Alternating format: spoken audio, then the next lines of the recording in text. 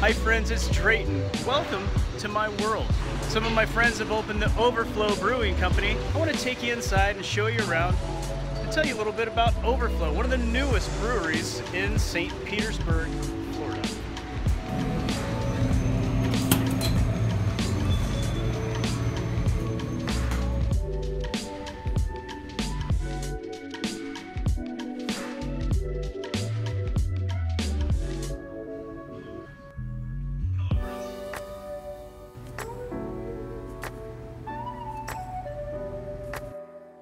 Okay, friends, I'm here inside Overflow Brewing. I'm here with my friends Jessica and Troy. Hi.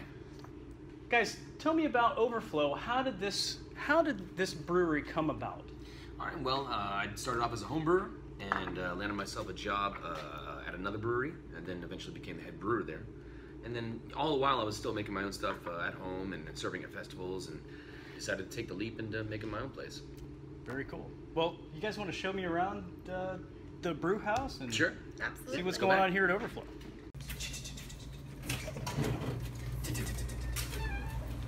This is where all the magic happens. So I'll take you by, show you the process here. Sure. Watch your step.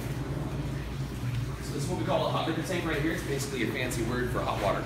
Uh, this is where we just start the brew days. We start heating up water. Uh, this is all filtered water going through. And then we go to the mash tun right here. This is where we're going to mix it with uh, cracked grains and hot water. And that's going to uh, activate the enzymes which convert the starches in the grain to sugar. And what you'll see in there is a false bottom. That's how we separate the sweet liquid that's created, called wort, uh, and leave the grains behind in the mash tun. So now we'll transfer that from here. We'll go over to the boil kettle.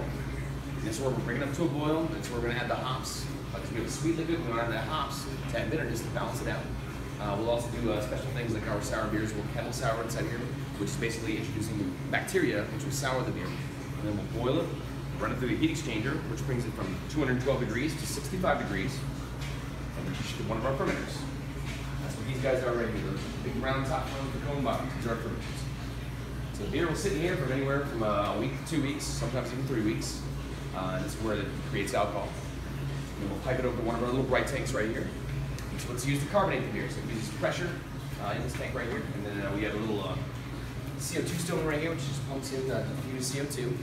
And that's going to help carbonate the beer. And then we'll keg it up. And then uh, it goes on tap and gets a drink. Right on. Well, let's go see these taps. Sure.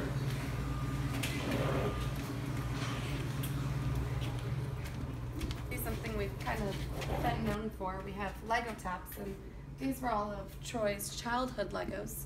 Yeah, so some of them over 25 years old. Yeah. Wow, these are from your childhood. Yeah. Very cool. sat together with some close friends and drank Yeah. some beer, built some Legos. It's kind of become something that we're known for. So we have Legos out here for people to play with while they're drinking the beer, because all adults need to play with Legos. we think. Troy, you have some of the best beers I've ever had. Thank What you. is your what's some of your favorites up here? What, what's the inspiration for all these beers? Well, right now, uh, one of my favorites, personally, that's on tap right now is going to be the E. Watson Brown Ale, which is just a uh, traditional English brown ale. Uh, so very malty, toffee notes, um, dark and roasty, and it's got a nice body to it. So not too thin, but not too thick or anything like Mhm. that. It's really good. But what we're really known for is, uh, is a lot of our sours that we make, which I mentioned earlier, is the, the kettle sours and stuff like that. Um, so what that involves is we add uh, lactic bacteria to the uh, kettle. It sours.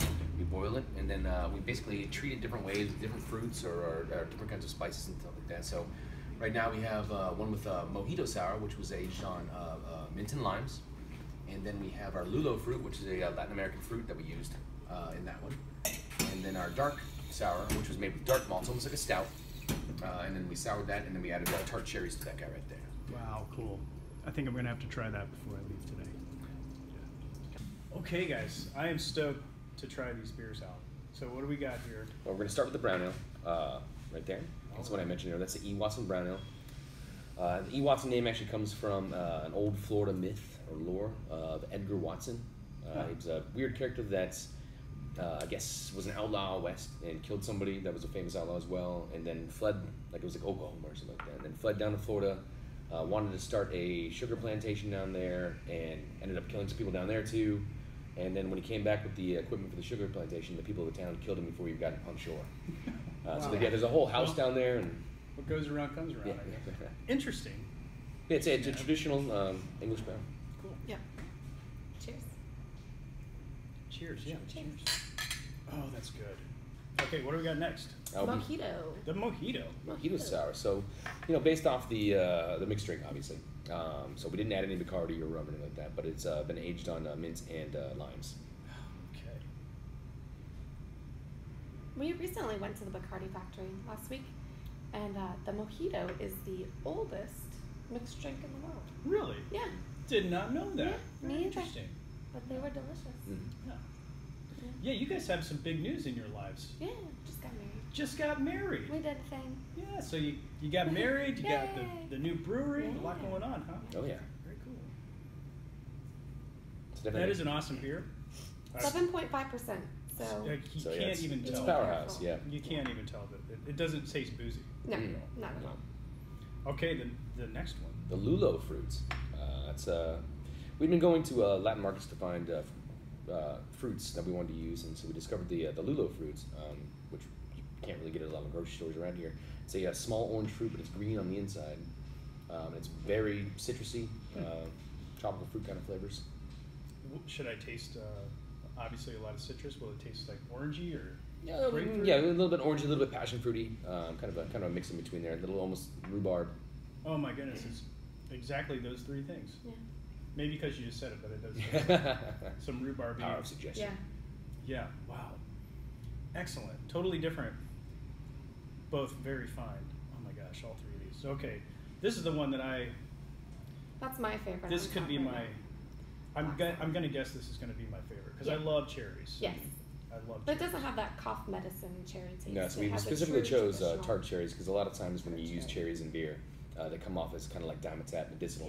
Yeah. Yeah. Uh, and so we wanted to escape that. So using tart cherries also plays with the sour beer as well. And you'll get you know the uh, the same dark notes you get from stout or porter, uh, but it kind of uh, blends into like a uh, chocolate covered tart cherry. Oh man, some of my favorite foods: chocolate, Right? cherries, and, and the official name of this beer, It's Paracosm, Paracosm. which is an imaginary universe. Hmm. That's very. It is like. This tastes like a cherry dipped in chocolate in liquid form. It's perfect. Yeah. I love that It's beer. perfect. It's what I'm drinking. So many layers of flavor Mhm. going on. It's very complex. Wow. Guys, you're killing it. This is Thanks. awesome. Thank you. Excellent beer. All him and our assistant Walter. Yep. Wow. Well, let's do a little moving around in the brewery, show you some other things that's going on here at Overflow. It's very unique in the artwork that's here, Yeah. the beer. You have a unique staff, people that I've known for a, quite some time. Very, very interesting place here. I'm, I am uh, enjoying this very much. Thank you. Yes. Let's check out some of this art. Sure. Sounds good. So tell me about this piece here. So, all the artwork in the hallway is by James Olson. You can find him on Facebook or Instagram under Olson Art. He's one of our uh, local artists in the area. He does a lot of murals and shows and body painting, sculptures, all kinds of stuff. So, we uh, brought him in to do some work for us, and he uh, ended up setting up all this stuff in the hallway just as a favor for us because Yeah, he thought it was pretty cool. So, all this art in the hallway is 3D. Um, we have all these pieces. So it's just some pretty cool, unique Wow. stuff that he uh, put up for us, and it's really cool to see it in 3D. All in 3D.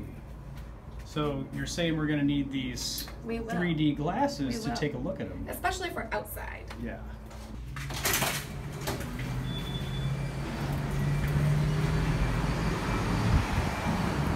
So out here we have uh, a 3D mural by James Olson, and it is Wow. the first 3D mural to uh, be in downtown St. Pete, which is really exciting. So, like I said before, we have the 3D glasses inside. You can come inside, grab a beer, grab some glasses, and come look at the artwork. So, what James did was Donkey Kong over here, and then as you can see, the doors is an old school Game Boy.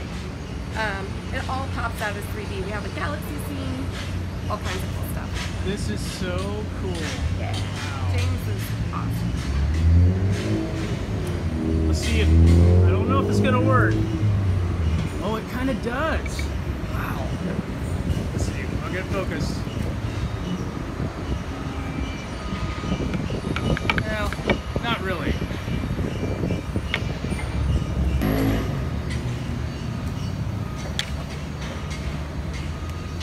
One of our goals here for the brewery was to tie in as much local art as we could. So what we did is the mural over here, and then over on this side we have Justin Siebold, who did another mural for us.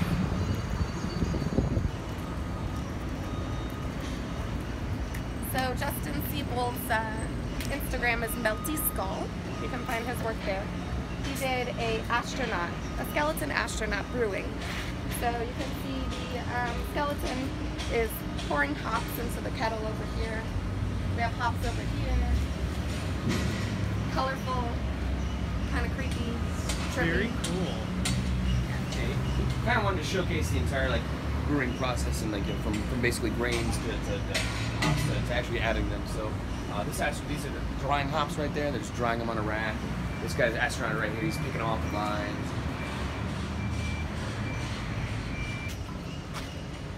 Was all done freehand too. No stencils, no uh, no outlines, just all freehand.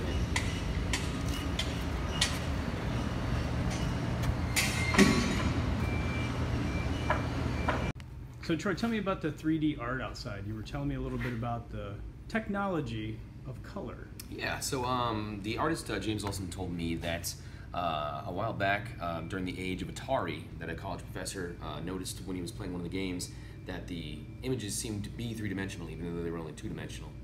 Uh, so he uh, researched it and started doing a lot of work on uh, on the art, uh, the, the science of color and light spectrums, and found out that uh, blue, black, and red uh, seem to create this this visual phenomenon. So blue uh, deepens the background, black is kind of a neutral color, and red will pop to the front. And when those three are combined, you get somewhat of a uh, three-dimensional image. And so if you use a certain filter that's on those 3D glasses, it'll make it stand out even more. Wow, very cool. So tell me about some of the inside art here. The inside art is changed every two months. Uh, we use a local company called Fringe Creative. They change everything around for us. Uh, so it's all local artists from Florida. Um, and we sell it for them. We don't take any commission, of course, but we have the art on display for sale. Um, so you have over here Stevo. Um, a couple of his so- pieces have already sold, so that's why the wall is kind of blank over here. These ones are interesting. By uh, JP DeCarlo. Over here is our sports corner. So we wanted to kind of set up a living room type atmosphere to be able to watch sports that would also uh, disconnect it from the actual tasting room in case you're not into sports or don't want to hear the TVs. You can go over here, listen to music, Cool. do whatever you want. Some more pieces by um, Stevo. Uh, over here are actually from my tattoo artist. Oh, cool. Yeah, J.R. Mitchell. He does that type of work. So we switch it out every couple months. Cool. Keep it fresh. Got some good art. Yeah. When we opened up, we didn't have any coasters. Uh, so we basically just used any box that we could and uh, cut coasters. And so many of our patrons decided that they wanted to draw on them, and we told them to just go ahead and hang them up because a lot of them looked really cool. Well, friends, thanks a lot. and Thank you. Come down and try some of this beer, guys. It's so good. It's worth it. Uh, what's what's the address? 770. 770 First Avenue North. Right on. Well, St. Pete. cheers. Cheers. Cheers.